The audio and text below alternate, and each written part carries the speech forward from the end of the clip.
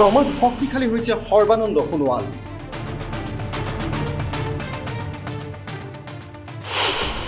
ক্ৰমাৎ প্ৰভাৱশালী হৈছে সৰ্বানন্দ সোণোৱাল।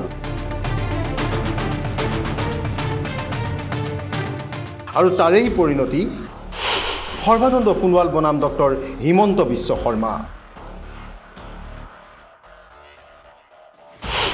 যেন এখন শীতল যুদ্ধ। প্ৰতিবেদনৰ আৰম্ভণিতেই চাই লওক দুটা দৃশ্য। প্ৰথমটো দৃশ্য যোৱা চাৰি ছেপ্টেম্বৰৰ। স্থান গুৱাহাটীৰ বৰঝাৰস্থিত লোকপ্ৰিয় গোপীনাথ বৰদলৈ আন্তঃৰাষ্ট্ৰীয় বিমানবন্দৰ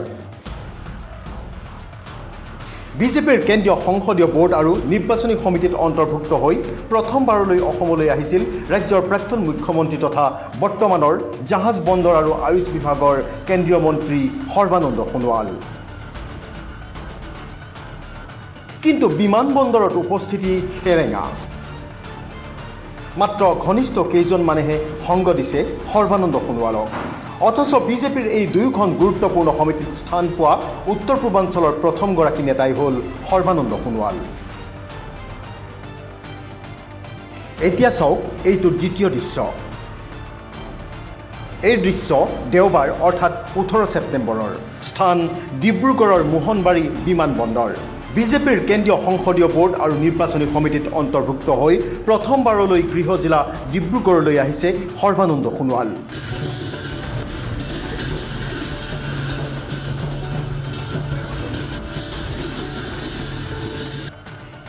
সম্পূৰ্ণ বিপৰীত দৃশ্য গুৱাহাটী আৰু ডিব্ৰুগড়ৰ। গৃহভূমিত সৰ্বানন্দ সোণোৱালক ৰাজকীয় আদৰণি। ঢোলে ডগৰে নাচে গানেৰে বিপুল আদৰণি একালৰ জাতীয় নায়কগৰাকী।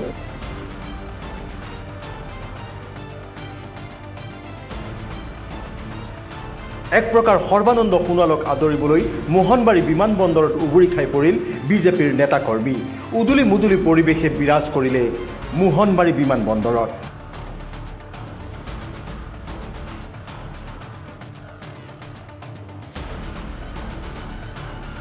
আৰু ইয়াৰ দ্বাৰাই সৰ্বানন্দ সোণোৱালে দেখুৱালে যেন তেওঁৰ জনপ্ৰিয়তা আৰু তেওঁৰ প্ৰভাৱ। প্ৰমাণ কৰাৰ চেষ্টা কৰিলে যেন উজনিত বিজেপিৰ অবিসম্বাদী নেতা সৰ্বানন্দ সোণোৱাল।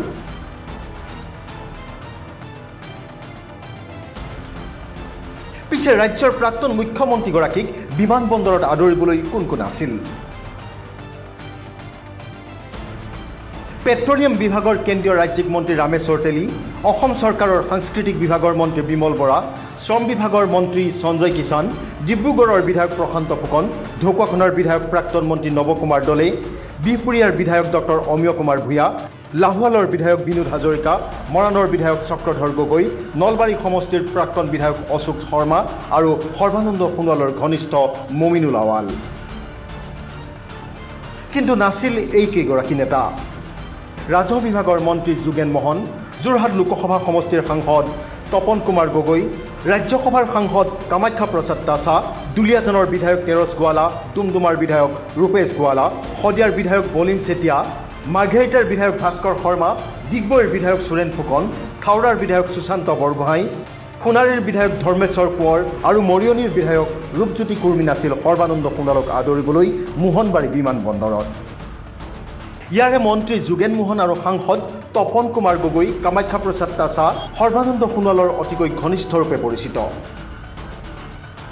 বিজেপিৰ ভিতৰুৱা খবৰ মতে কেইবাগৰাকীও নেতাই সৰ্বানন্দ সোণোৱালক আদৰিবলৈ ডিব্ৰুগড়লৈ যোৱাৰ কথা আছিল যদিও মুখ্যমন্ত্ৰী ডক্টৰ হিমন্ত বিশ্ব শৰ্মাৰ ৰোষত পৰাৰ ভয়তে শেষ মুহূৰ্তত বাতিল কৰে নিজৰ যাত্ৰা।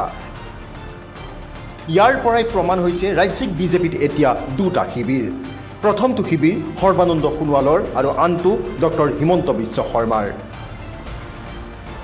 এতিয়া এই দুই শিবিৰৰ শীতল যুঁজখনে ৰাজ্যিক বিজেপিক কলৈ লৈ যায় কি দিয়ে সেয়াহে হ'ব চাবলগীয়া। তাতে কথা চলি আছে ৰাজ্যিক বিজেপিৰ সভাপতিও সলনি হ'ব শীঘ্ৰে। আৰু আহি আছে দুহেজাৰ চৌব্বিছ চনৰ লোকসভা নিৰ্বাচন। তেনেস্থলত সৰ্বানন্দ সোণোৱাল আৰু ডক্টৰ হিমন্ত বিশ্ব শৰ্মাৰ যুঁজখন যে অধিক আকৰ্ষণীয় হৈ উঠিব সেই কথা নিঃসন্দেহ বুলি ক'ব পাৰি। কিন্তু এই শীতল যুঁজখনে গৰম যুঁজলৈ ৰূপান্তৰ হ'লেহে অসমৰ ৰাজনীতিত লাগিব খলকনি bureau report the cross current.